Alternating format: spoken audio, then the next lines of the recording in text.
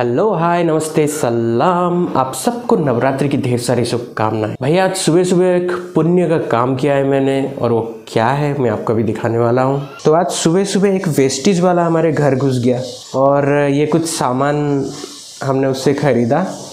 तो मैंने उसको उसका अगला कार खरीदने में थोड़ा सा हेल्प कर दिया। तो आप सोच रहे होंगे कि मेरा दिल इतना दरिया है जो मैं इतना हेल्प कर रहा हूँ वेस्टीज वालों को। ऐसा कुछ नहीं है। अरे वो बंदा लिटरली नीचे गिर के गिड़गिड़ा के रो रहा था। साहब ले लो साहब ले लो। ऐसा कुछ खाने को दो ना साहब क्या करता है? अब सोचो साला हर महीने ये लोग कार कैसे खरीद रहे हैं। बट फ्रैंकली स्पीकिंग वेस्टेज के प्रोडक्ट्स इतने ख़राब नहीं है। उसका रिव्यू वगैरह बहुत अच्छा है। हाँ इनका जो बेचने का तरीका है और जो जिस तरह से ये प्रमोट करते हैं ना, उससे शिकायत है। खैर, छोड़िए, आगे बढ़ते हैं और आपको दिखाता हूँ अमेज़ोन और फ्लिपकार्ट में जो अभी ऑफर्स चल रहे थे। तो उसमें एक छोटा सा मोबाइल मुझे पसंद आ गया था तो मैंने सोचा क्यों ना ट्राई किया जाए। तो उस मोबाइल का मैं एक छोटा सा रिव्यू आपको देने वाला हूँ। तो लेट्स स्टार्ट द अनबॉक्सिंग दुनिया की सारी खुशियाँ एक तरफ़ और मोबाइल अनबॉक्सिंग करने की खुशी एक तरफ़। तो ये रहा वो मोबाइल। वाव बहुत ही लाइट वेट है।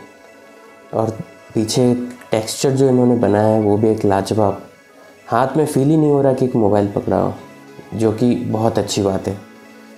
और पीछे का टेक्सचर देख के मुझे बहुत अच्छा लगा।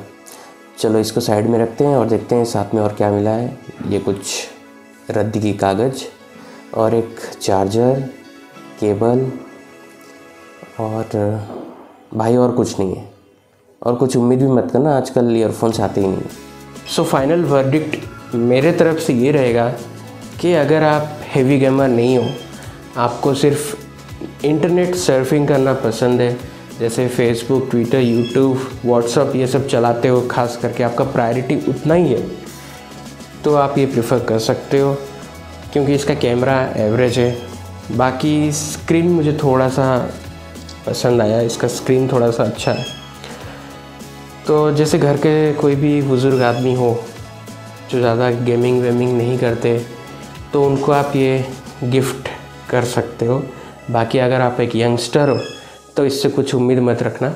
मम्मी, पापा, कोई अगर नाना नानी किसी को गिफ्ट करना है तो आप बेझिझक इसको ले सकते हो। बहुत ही लाजवाब गिफ्ट रहेगा उनके लिए ये।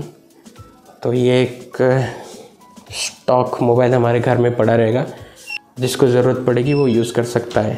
क्योंकि जो घर के बुज़ुर्ग रहते हैं, उनको ज़्यादातर प्रायोरिटी बैटरी रहता है और मोबाइल हैंग नहीं होना माँगता।